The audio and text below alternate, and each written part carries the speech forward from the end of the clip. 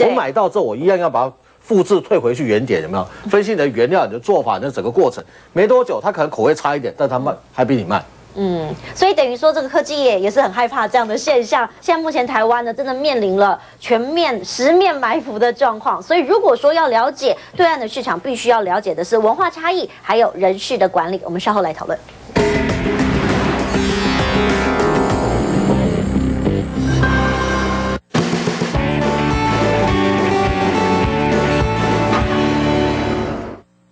个人吃的有有吃有合口味才会买，对不对？哎，没有关系，哎。每次听听说这边的饼很好吃，味道很实在，传统实在。餐台上摆满不同口味的糕饼，毫无限制，让人随性来场舌尖的旅行。客家老板江金荣有敏锐的市场嗅觉，里面的馅都是自己做的啊，对，不甜不甜又实在，跟外面的不一样啊。对啊，面有加工的不一样啊，这个都是纯的。有过两个啊，做多种口味，有创新，哎嘿。经过创新改良，研发多种口味，对不对？这是大埔腔，是我们说油锅两锅做出它多种米稀。糕饼业原料来源上百种，江静荣说，怕违法添加物，能自制还是保险些。最初开面包店，发现最受欢迎的竟是客家口味的喜饼。江俊荣决定好好留住小时候自己最爱的滋味。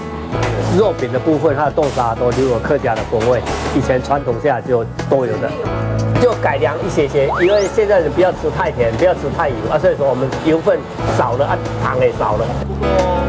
来自多花心思的细节里，肉饼馅料里猪油和葱酥自己炒，客家糕饼必备的起拔也坚持每天现做，不使用防腐剂、增味剂，保存食物真实的味道。自己做的吃起来它香气还有口感不一样。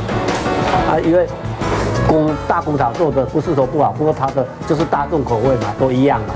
现在就是要往新的工厂，啊，设备在完善，然后在卫生方面都要多更完善这样。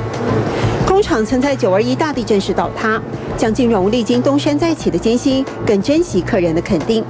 希望四十年老店手制糕饼，让人记得的是温厚单纯的好味道。